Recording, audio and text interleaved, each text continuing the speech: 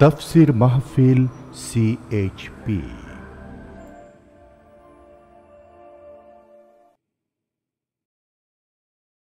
বিসমিল্লাহ রহমান রাহিম। তফসিরুল কোরআন মাহফিল সিলেট দু হাজার পাঁচ। আঞ্জুমানে খেদমতে কোরআন সিলেট কর্তৃক আয়োজিত দুদিনব্যাপী এই তফসিল কোরআন মাহফিলের দ্বিতীয় দিনে এখন বক্তব্য রাখছেন বিশ্বনন্দিত মুফাসির কোরআন আল্লামা দেলওয়ার হুসাইন সাইদি শব্দধারণ মাহাসিন সাউন্ড সিস্টেম। প্রযোজনায় সিএইচপি শুধু তফসির মাহফিল সিএইচপি চ্যানেলে আল্লামা সাইদিন মূল্যবান আলোচনা এখন দেখতে পাবেন। এবার দেখবেন তওবা প্রসঙ্গে আলোচনা। আমি আজকে অনেক কথা বলতে হবে, ইনশাআল্লাহ। বলেন ইনশাআল্লাহ। সেই জন্য আমি ভূমিকা বাড়াবো না। চলুন, কালকে যেখানে ছেড়ে দিয়েছিলাম, সেখান থেকে আমরা শুরু করি। মনে আছে কোন সুরা থেকে বলছিলাম? সৌরায় তবা কত নম্বর আয়াত ছিল? মাশা আল্লাহ আপনাদের মনে আছে? আলহামদুলিল্লাহ বলি। আল্লাহ তালা আমাদের জেহেন শক্তি আরও বাড়ায় দিন। বলি আমি সুরায়ে তবার একশো এগারো নম্বর আয়াতের ব্যাখ্যা করেছি। ওই দিন বলছিলাম গত রাত্রে যে দুটি আয়াতের কথা বলব, একশো এগারো আর একশো বারো। একশো এগারো নম্বর কালকে বলা হয়ে গেছে এবং বলেছিলাম, আল্লাহ তালা এখানে মোমেনদের জন্য আটটি বৈশিষ্ট্যের কথা বলেছেন। আচ্ছা বলেন তো জাহান নামের সংখ্যা কত? জাহান নামের সংখ্যা সাত। আর জান্নাতের সংখ্যা আট। সুরায় ফাতেহার মধ্যে আল্লাহ ষাটটি আয়াত নাজিল করেছেন। আল্লাহ রব্বুল আলমিন সুরায় ফাতেহা নাজিল করেছেন। আয়াত কয়টা? বলেন। আর জাহান নামের সংখ্যা কয়টা? সুরায় ফাতেহার ষাটটি আয়াতের শিক্ষা যদি কোনো মানুষ গ্রহণ করে, আমল করে, আল্লাহ রব্বুল আলমিন তার জন্য জাহান নামের ষাটটি দরজা বন্ধ করে দিবে।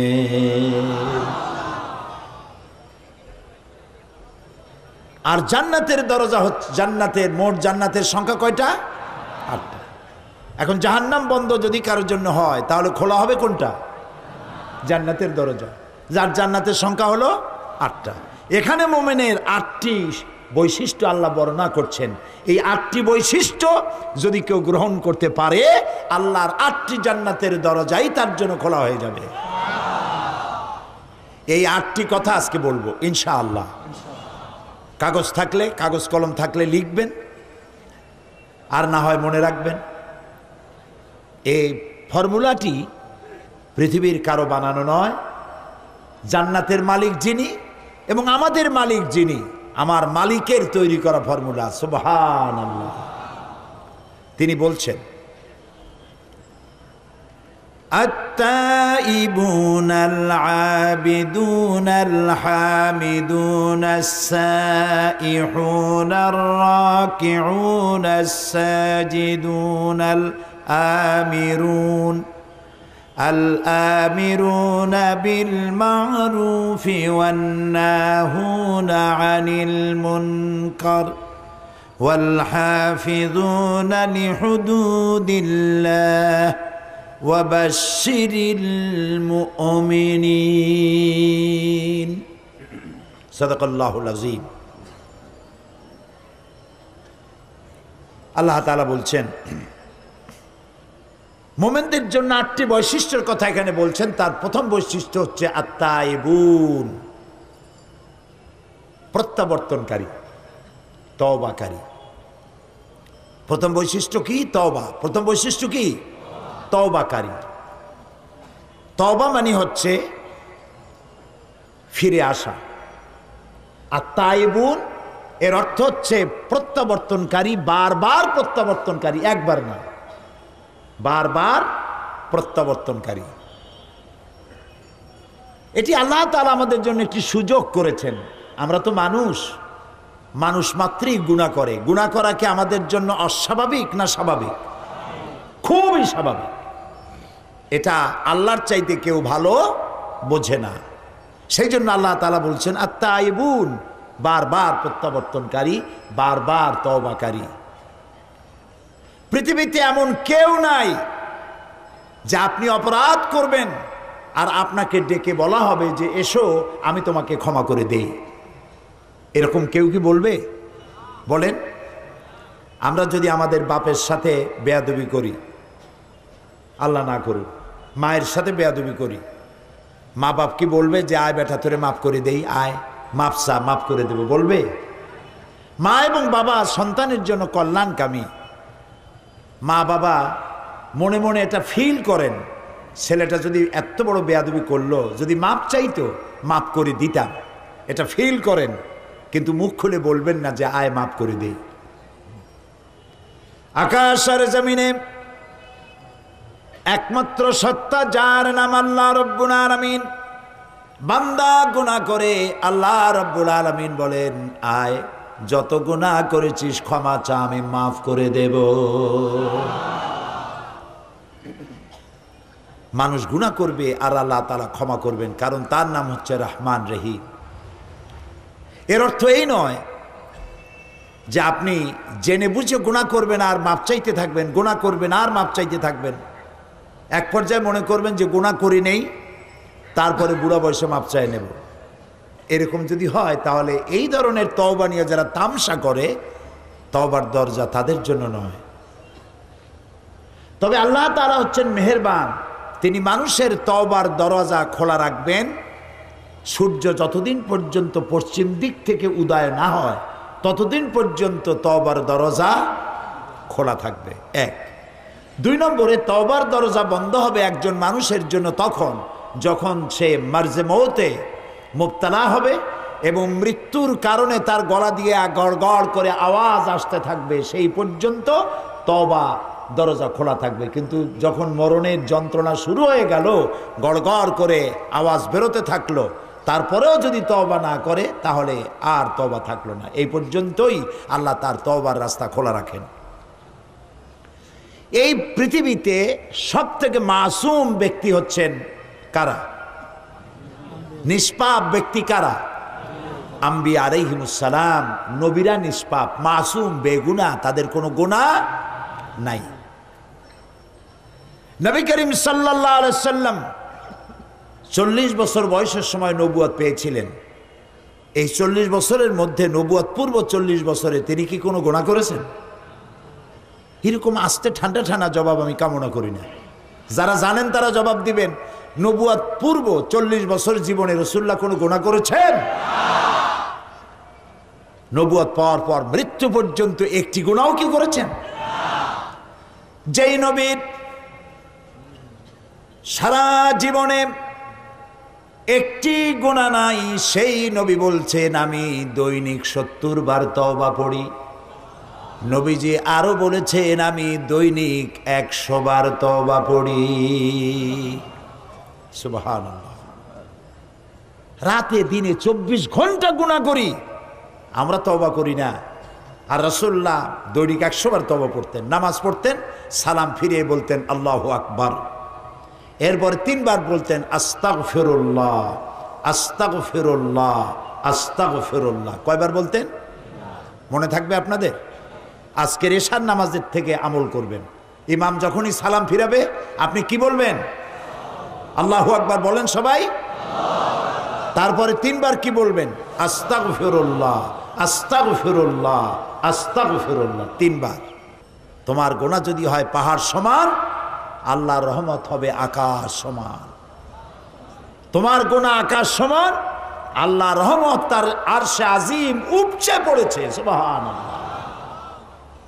এত দয়া, এত মেহেরবান, এত রহমত আল্লাহ তালার সেই জন্য আল্লাহ তালা বলছেন আত্মাইবুন মোমেনের সব থেকে বড় বৈশিষ্ট্য, এক নম্বর বৈশিষ্ট্য, সে তবা করবে বার বার তবা করবে। রুকনি অ্যামিনি এবং হাজারে আসওয়াদ, কাবা শরীফে। এইখানে কাবা শরীফে যে গেলাফ আছে, এই গেলাফের চতুর্দিকে সোনার সুতা দিয়া কোরআন শরীফের অনেকগুলি আয়াত লেখা আছে। রুকনি আমিনি থেকে হাজারে আসওয়াদ এই অংশে অনেকগুলি আয়াত আছে, তার মধ্যে একটি আয়াত আছে মাঝখানে লেখা।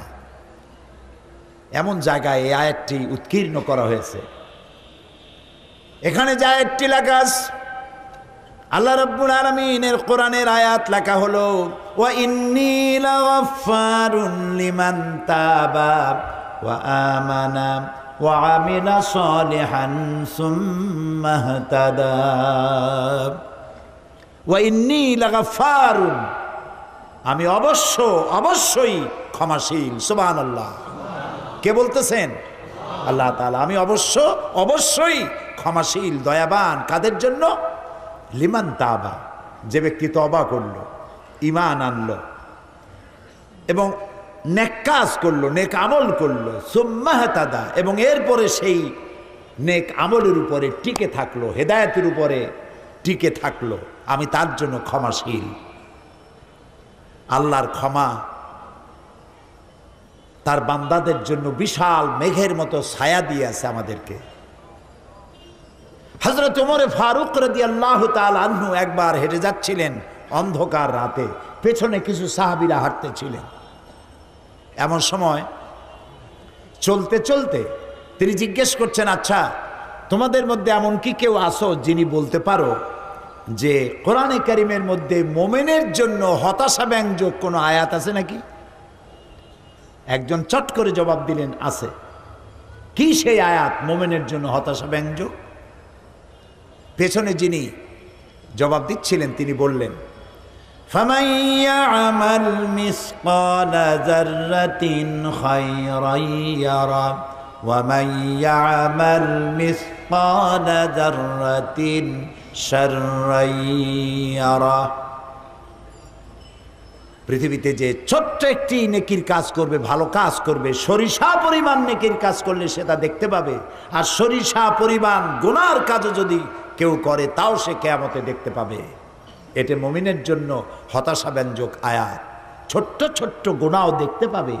হজরত আবু সাইদ খুদরি রাদি আল্লাহ তালু তিনি প্রশ্ন করেছিলেন হেরাসুল এই আয়াত নাজিল হওয়ার পর? তিনি বলেছিলেন হেরাসুল আমি কি আমার ছোট্ট, বড় সব ছোট ছোট গুণাগুলিও দেখব? রাসুল্লাহ বললেন হ্যাঁ দেখতে পাবে।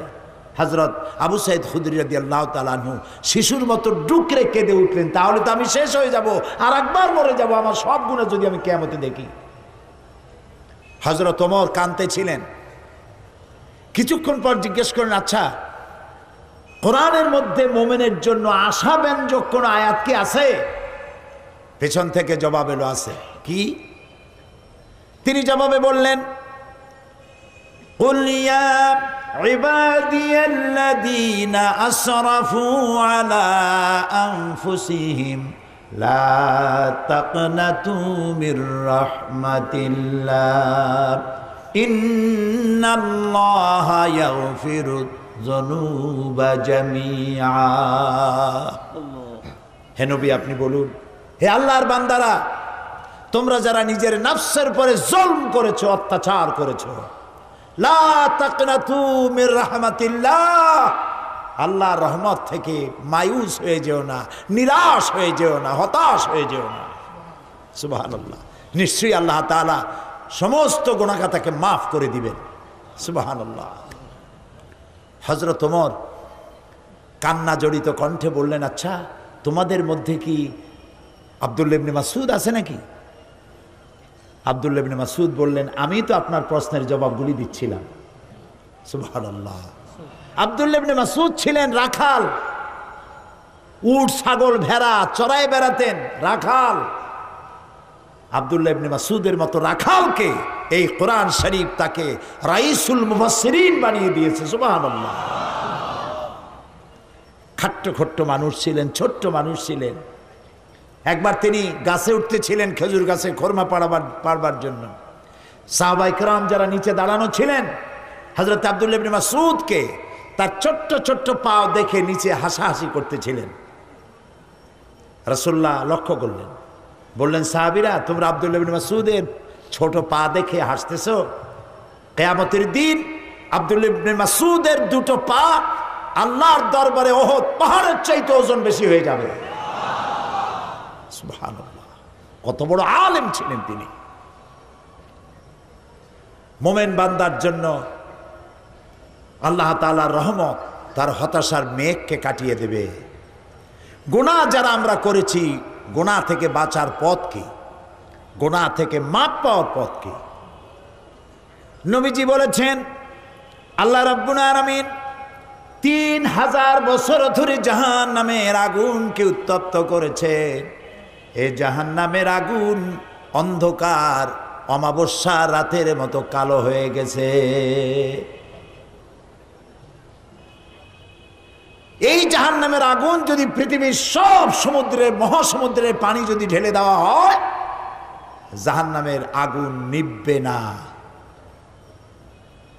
জাহান নামের আগুন, সমুদ্র, মহাসমুদ্রের পানিতে আগুন নিকবে না, কিন্তু গুণাগার বান্দার অনুশোচনা আর অনুতপ্ত অনুতপ্ত আর অনুশোচনার দুই ফোঁটা চোখের পানি, তার জন্য নির্ধারিত জাহান নামের আগুন নিবে যেতে পারে। বান্দা যখন গভীর রাত্রি আরামের ঘুমকে হারাম করে তাহাজ্জুদের নামাজ পড়ে, আল্লাহর দরবারে হাত তুলে যদি কান্দে, রব্বুল আলামিন শয়তানের অসহায় পড়ে গুণা করেছি, মাফ করে দাও। নবীজি বলেন চোখের পানি নাকের অর্ধেক। আসতে না আসতে আল্লাহ রব্বুল আলামিন তার এই ক্রন্দনরত বান্দাকে মাফ করে দে। সুবহান আল্লাহ তালা অসীম রহমতের মালিক। এই পৃথিবীর বাজার ঘাট, অফিস, আদালত, সন্ধ্যা আসতে থাকে, দিনের বেলায় চলতে থাকে, আসর হতে থাকে, আর সব একটা একটা করে বন্ধ হতে থাকে। আর আল্লাহর অফিসের অবস্থা ভিন্ন। দুনিয়া রাত যত বাড়তে থাকে অফিস আদালত দোকানপাট সব বন্ধ হতে থাকে। আর আল্লাহ তালার অফিসের অবস্থা ভিন্ন। রাত যত গভীর থেকে গভীরতর হতে থাকে, আল্লাহ তালার রহমতের অফিসগুলি তত কর্মচঞ্চল হয়ে ওঠে। আল্লাহু আল্লাহু আকবার। আল্লাহ তাআলা আরশে আজিম থেকে প্রথম আকাশে আসেন। কি দয়া তার। প্রথম আকাশে আসেন। আর বলতে থাকেন, কে আছো? কে আছো? গোনা করে জীবনটাকে বরবাদ করে দিয়েছ। আমাকে বলো, মাফ করে দেব। সুবাহ সুবাহ আল্লাহ মাফ করে দেব। বান্দা যখন গভীর রাত্রে কানতে থাকে তাহার যদি নামাজ পড়ে দেখবেন, এর চাইতে মজার কিছু নাই পৃথিবীতে। গভীর রাত্রে যখন পৃথিবীটা ঘুমিয়ে যায় প্রিয় ভাই সব, মানুষ যে প্রেম করে, পত্রিকা বিজ্ঞাপন দিয়ে প্রেম করে, বোঝেন কথা? পত্রিকা বিজ্ঞাপন দিয়ে প্রেম করে, মাইকিং করে প্রেম করে প্রেম করে কীভাবে? গোপনে গোপনে। মোমেন ব্যক্তি প্রেম করবে কার সাথে? ঢাকডোল পিটায় করা যাবে না, মাইকিং করে করা যাবে না। আল্লাহ তালা বলছেন, প্রেম করার জন্য আমি একটা নির্জন পরিবেশ তৈরি করে দেই। দিনের কলহল শেষ হয়ে গেল। সূর্য অস্তমিত হয়ে গেল। রাতের একটি কালো চাদর দিয়ে দুনিয়াটাকে ঢেকে দিলাম। এখন তুমি জাগ্রত হও, একটু ঘুমাও একটু ঘুমাও, তারপরে জাগ্রত হও। অজু করো জায়নামাজে দাঁড়িয়ে যাও। বান্দা যখন গভীর রাত্রি নির্জন পরিবেশে উজু করে সেজদায় যখন চলে যায়, লম্বা লম্বা সেজদা দিয়া চোখের পানি ফালায়, দেখেন কি মজা। নামাজ পড়ে, যায় নামাজে বসে ডাকতে থাকুন, ইয়া আল্লাহু, ইয়া রহমানু, ইয়া রহিমু, ইয়া হাইয়ু ইয়া কাইয়ুম, পড়েন সাথে আমার সাথে, ইয়া আল্লাহু, ইয়া রহমানু, ইয়া রহিমু, ইয়া হাইয়ু, ইয়া কাইয়ুম, ইয়া আল্লাহু, ইয়া রহমানু, ইয়া রহিমু, ইয়া হাইয়ু, ইয়া কাইয়ুম।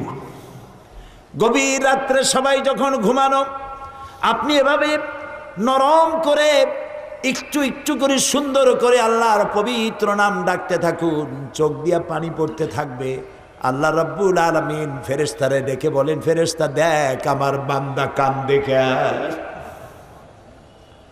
ফেরেস্তারা বলে, রব্বুল আলমিন, তুমি তো জানো। আল্লাহ বলেন হ্যাঁ জানি। তোমাদের মুখ থেকে শুনতে চাই, বলো কান্দে কেন? ফেরেশতারা বলে, রব্বুল আলামিন, তোমার বান্দারা গুণা করেছে। জাহান জাহান্নামের ভয়তে ওরা কান্দে আল্লাহ জিজ্ঞেস করেন আমার ফেরেশতারা, আমার এই বান্দারা কি দোজক দেখেছে নাকি? কয়, না, দোজক দেখে নাই। আমারে দেখছে নাকি? কয়, আল্লাহ, আপনার জাতের কসম আপনারে দেখে নাই। বেশ তো দেখেছে নাকি? বলে, না, বেশ তো দেখে নাই। আল্লাহ বলেন, ও আমার ফেরেশতারা, সাক্ষী থাকো। ওরা আমার বেশ তো দেখে নাই, দোজক দেখে নাই, আমারে দেখে নাই।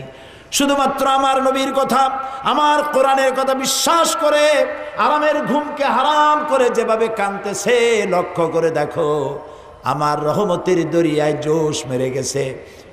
তোমরা সাক্ষী থাকো, আমার এই ক্রন্দনরত বান্দার বান্দিগুলি আমি আল্লাহ মাফ করে দিলাম। প্রিয় ভাই সব, আর তাই বোন তবা করুন। যত বেশি বেশি পারি, আমরা তবা বেশি করে করব। আল্লাহ যেন কবুল করেন, বলেন আমি আল্লাহ তালা দেওয়ার জন্য প্রস্তুত। যে চায় না আল্লাহ তার উপরে রাজি, নারাজ হয়ে যান। কবি বলছেন, হর হমেশা দেনে কো তৈয়ার হে, জু না মাঙ্গে উসে ও বেজার হে। সব সময় দিতে আমার আল্লাহ প্রস্তুত। যে চায় না আল্লাহ তার উপরে নারাজ হয়ে যান। প্রিয় ভাই সব, আল্লাহর কাছে তবা করলে আল্লাহ মাফ করে দিবেন। তবে গোনার একটি সীমা থাকা উচিত, সীমা ছাড়া যেন গোনা আমরা না করি। গোনার থেকে সব সময় তবা করতে হবে। এই গোনা থেকে বাঁচার জন্য একটা পদ্ধতি আছে। বলব কি? বলব? সেটি হচ্ছে মহাসাবা। আত্মসমালোচনা করা। রাত্রিবেলা যখন আমরা ঘুমাতে যাই। বেডে গিয়ে ঘুমাবার আগে চিন্তা করুন, আল্লাহ, আজকের সকাল থেকে নিয়ে এই ঘুমাবার বিছানা পর্যন্ত আসতে কয়টা মিথ্যা কথা বলেছি আজ? মনে পড়বে না? জবাব দেন। মানুষের সাথে কয়টা ওয়াদা খেলাপ করেছি মনে পড়বে না? ওজনে কম দেওয়া, খাদ্যে ভেজাল দেওয়া, শয়তানি করা, ইত্যাদি, যা কিছু করা হয়েছে মনে পড়বে না? তবা করবেন আল্লাহ আস্তাক ফিরল্লাহ আস্তাক ফিরল্লাহ আস্তাক ফিরল্লাহ আল্লাহ তালা আমি ভুল করছি, এই গুণাগুলি আমি আগামীকাল আর করব না, তুমি আমারে মাফ করে দাও। প্রত্যেক রাত্রে যদি আত্মসমালোচনা করা যায়, শোয়ার সময় মহাসভা করা যায়, যে আজকের দিনে কত গুণা করছি, কালকে এগুলি করব না। এইভাবে মানুষ সংশোধন হতে পারে পারফেক্ট হয়ে যেতে পারে। আমরা কি এটা করা শুরু করব আজকে থেকে? করব? আল্লাহ তৌফিক দিন, আমরা বলি আমিন। আমরা বলি আমিন। প্রিয় ভাই সব আল্লাহ তালার মধ্যে দুইটা সেফত সব থেকে বেশি ক্রিয়াশীল। আল্লাহ তালার মধ্যে দুইটা সেফত সব থেকে বেশি ক্রিয়াশীল। একটা হলো রহম আর একটা হলো করম। দয়া আর দান। দান করতে গিয়ে তিনি তাকিয়ে দেখেন না শত্রু এবং মিত্রকে সমানে দিতে থাকেন, কারণ তার নাম হচ্ছে রহমান। সোমান আল্লাহ বলে তার নাম করিম। হাদিসে কুচ্ছিতে এসছে রসুল্লাহ আল্লাহ তালা বলেছেন, এই পৃথিবীর দাম যদি আমার কাছে একটা মশার ডানার তুল্য হতো, আমি কাফেরকে এক ঢোক পানি গিলতে দিতাম না। এই পৃথিবীর কোনো দাম আল্লাহর কাছে নাই। খুলু তামার তাউ খার ফুর্তি কর। জবাব একদিন দিতে হবে। তা আল্লাহ তালার মধ্যে কারিমিয়ত, দয়া, কি বলে, দান, দানশীলতা এই সেপটটা দারুণভাবে ক্রিয়াশীল। আরেকটি হলো রহম, দয়া। এত দয়া যা বলে শেষ করা যাবে না। আপনি অপরাধ করবেন, গভর্নমেন্ট আপনাকে গ্রেফতার করবে। চুরি, ডাকাতি যেটাই করেন, গ্রেফতার করা হবে। জেল থেকে মুক্ত হবেন। কিন্তু থানায় যে অপরাধের লিস্টে, অপরাধীদের লিস্টে আপনার নাম ছিল, ওই নাম কিন্তু কাটা হবে না। আবার অন্যায় করবেন, জেলে যাবেন, নাম লেখা হবে, কাটা হবে না নাম। যতবার অপরাধ করবেন, জেলে যাবেন, জেল থেকে মুক্তি পাবেন, নামগুলি লেখা হয়ে যাবে, নাম কাটা হবে না। কিন্তু আল্লাহ রব্বুর আমিন তার আদত মোবারক ভিন্ন। মানুষ গুণা করে গুণা থেকে তবা করলে পরে আল্লাহ রব্বুল আমিন গুনাই শুধু মাফ করেন না, গুনার খাতা থেকে নামটাও আল্লাহ মুসাই মুছে ফেলে দেন। শুধু তাই নয় তবা যদি কবুল হয়ে যায়, সাইয়াদ গুলি আল্লাহ তালা হাসানাত দিয়া বদলায় দেন। সুভান আল্লাহ সুভান আল্লাহ আল্লাহ একবার এই জন্য আল্লাহ যেন আমাদেরকে বেশি বেশি তবা করার তৌফিক দান করেন। মোমেনের এক নম্বরের কোয়ালিটি, সে তবা করবে এবং বারবার তবা করবে। তবা করতেই থাকবে। নবী করিম সাল্লাহ আলী সাল্লাম নামাজের মধ্যে দাঁড়িয়ে যেতেন গভীর রাত্রে তাহাজ্যদের জন্য। কোনো গোনা ছিল রসুলের? ছিল না। হজরত আয়সারদি আল্লাহ তালানা বলেছেন, রসুল যখন নামাজ শুরু করতেন, সুরায় বাকারা, সুরায় আলে ইমরান, সুরায় নেশা সুরায় মায়েদা, সুরায় আরাফ, একটার পর একটা শেষ হয়ে যাচ্ছে। আমার মনে হচ্ছিল যে এক রাখাতেই বোধহয় রাত শেষ করে ফেলবেন। রুকুতে যেতেন মনে হতো এই রুকু থেকে বোধহয় আর উঠবেন না। সেজদা দিতেন, মনে হতো রসুল্লাহ এন্তেকাল করেছেন, কোনো সারা শব্দ নাই। ভাবতাম রসুল্লাহ মারা গেলেন নাকি? আমি পায়ের আঙ্গুল ধরে চাপ দিতাম রসুল্লাহ ব্যথা পেয়ে পায়ের আঙ্গুলে নাড়া দিতেন, তখন আমি বুঝতাম রসুল্লাহ বেঁচে আছেন। দাঁড়িয়ে দাঁড়িয়ে নামাজ পড়তে পড়তে পা এরকম ফুলে যেত, পাও মোবারক, এরকম ফুলে যেত, সকালবেলায় জুতার মধ্যে রসুলের পাও প্রবেশ করতো না। অথচ তার কোনো গুণা ছিল না। প্রিয় ভাই সব, আমলের পরিবর্তনের জন্য, নেক আমল করার জন্য মোমেনের এক নম্বর বৈশিষ্ট্য তওবা করা। আল্লাহ যেন আমাদেরকে, যারা তওবাকারী, তাদের মধ্যে আল্লাহ আমাদেরকে যেন সামিল করে দেন। আল্লাহ আমিন।